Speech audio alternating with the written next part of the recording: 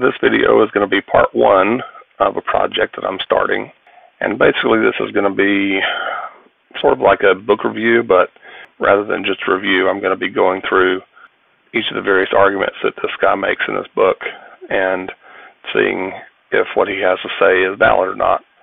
Um, the name of this book is All That's Wrong with the Bible Contradictions, Absurdities, and More. It's written by a guy named Jonah David Conner, who's a former Christian, a PhD, and he apparently details a little bit about his own experience and presents what he believes are contradictions in the Bible and various absurdities and other things. I haven't read this whole thing yet, uh, but my plan is to go through it and take each contradiction one at a time and probably make a video about each one to see why he thinks it's a contradiction, if that is a required conclusion, and see if there are other ways that make good sense to think about it. He talks about in the beginning of the book in the introduction about ideas about inerrancy and what qualifies as a contradiction, and makes the case that some Christians will go to extreme lengths to avoid categorizing anything that's in the Bible as a contradiction. And I can appreciate that he would think this, and maybe he's right. But it, we each had to make up our minds what we're going to think about the origin of the universe, why we're here, and if there's a God or not. And I made another video uh, a while back comparing the five different views of reality in terms of the different origin stories. And not that there are only five views, but the five categories of views that, from what I can tell, there are no more categories than those five, uh, and that every perspective fits into one of them. And if you know one beyond uh, the categories I've listed, please let me know. I would certainly like to know that. Um, but in that video, and in some other ones that I made on the same topic, I talked about the idea that there's a whole lot that we don't know, and that none of these perspectives can be proven in a way that is unassailable to logic. You know, it's the amount of data that we have available to us is limited. So if we're going to be objective and try to make a right decision about how to live based on what is or isn't true, then we're going to have to look at the data and try to sort out what we think is real, what we think is true, what makes sense based on what knowledge we have access to.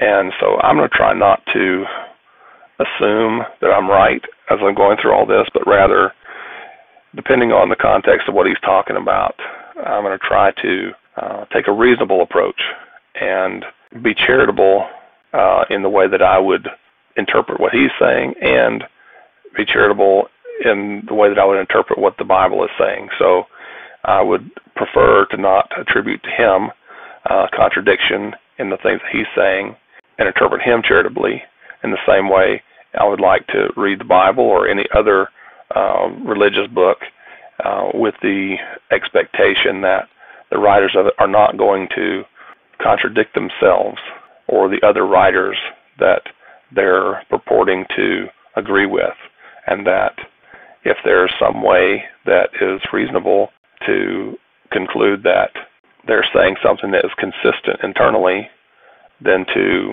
at least consider that as a possibility.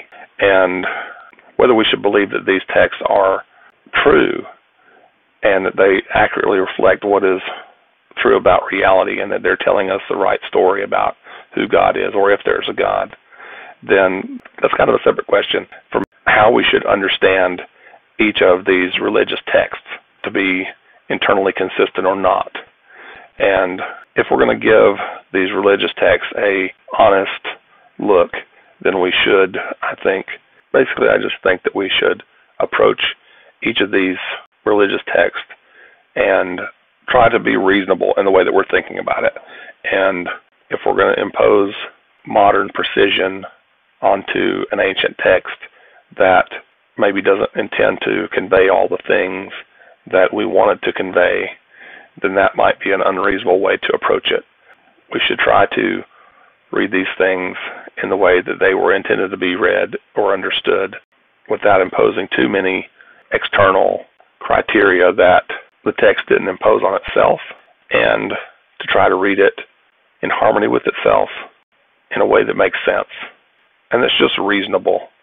I guess that's what I'm saying is I'm trying to take a reasonable approach to understand whatever people are saying and trying to catch them in any kind of thing that they might have said that is could be taken in two different ways and say, oh, this is a contradiction when it could be interpreted in a way that is consistent with itself.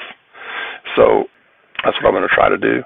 And I just wanted to take this um, occasion to talk about that. And so, um, first, I'm going to talk a little bit about his ideas about what amounts to a contradiction. And I think that some of these are a little bit too simplistic, and because they're not precise enough statements, he's using even in his examples to produce a uh, true contradiction. And so the one he has here is the example is John is short and John is not short, or those are qualitative statements, and it doesn't specify that it's the same John. You know, so if you're going to presuppose that it's the same John and that short is has a precise definition, and that the same John both meets and does not meet that same uh, definition, then that would certainly be a contradiction. But if you don't specify which John and you don't specify what qualifies as short, then saying that he is short, that John is short and John is not short, doesn't necessarily amount to a contradiction. Uh, similarly, where it says here, John went to the park and John did not go to the park.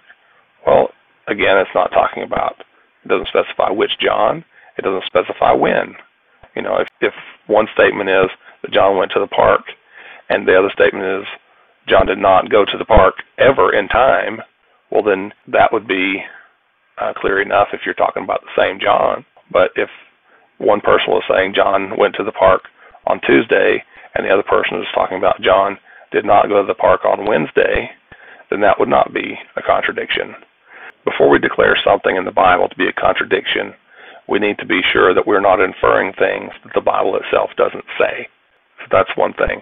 And the second thing, he talks about um, a different type of contradiction, which is when you have incompatible concepts.